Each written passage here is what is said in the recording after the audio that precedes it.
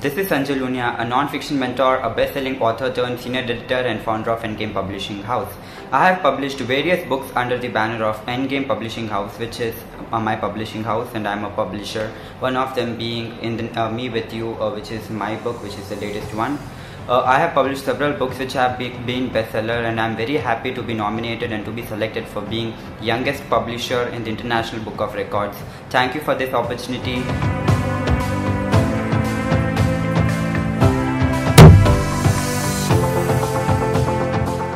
Super Talented Kid, a biggest platform to explore kids' talent.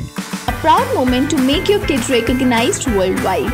An opportunity to get honored in an award show. Also get a chance to meet and greet with Bollywood celebrity. Apply now. Log on to www.internationalbookofrecords.com and for more details call 9646 803875 7973 222208. Super talented kid, one in a million.